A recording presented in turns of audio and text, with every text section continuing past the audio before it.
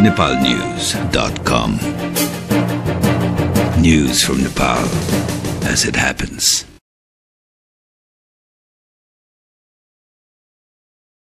बौद्ध धर्म अन्तर्गत महायान सम्प्रदायको सांस्कृतिक पर्व लोसार आज देशभरका गुरूङ समुदायले हर्ष उल्लासका साथ मनाएका छन्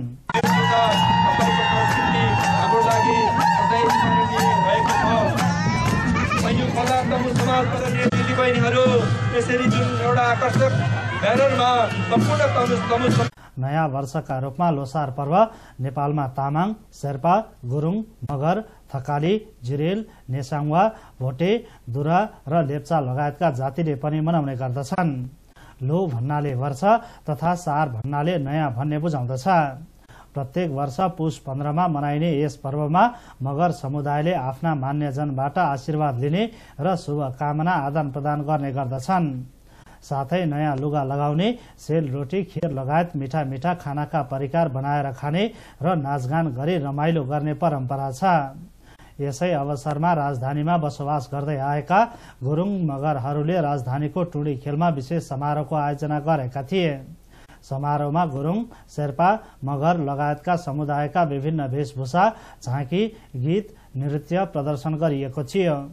समारोहमा मगर समुदायका पहिचान झल्काउने कला सामग्री तथा खानाका परिकारहरूको स्टल समेत राखिएको थियो।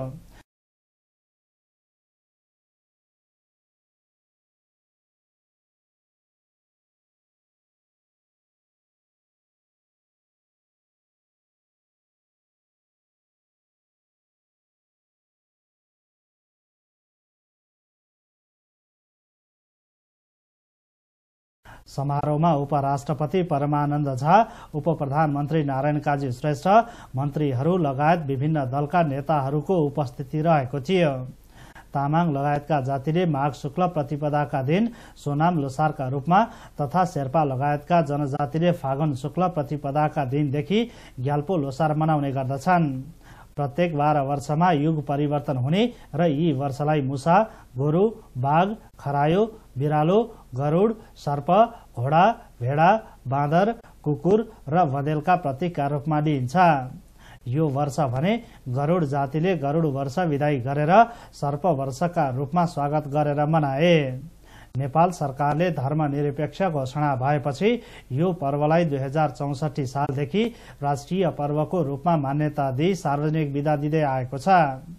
पर्वको अवसरमा राष्ट्रपति डाक्टर रामवरण यादव प्रधानमन्त्री डाक्टर बाबुराम भट्टराई सहित पार्टीका मुख्य नेताहरूले लोसारले नेपालमा एक आपसमा मेलमिलाप सद्भाव तथा एकता कायम गर्न सकोस् भनेर शुभकामना व्यक्त गरेका छन्। लोसार पर्व मनाइएको सम्बन्धी समाचार यति नै nepalnews.com. News from Nepal as it happens.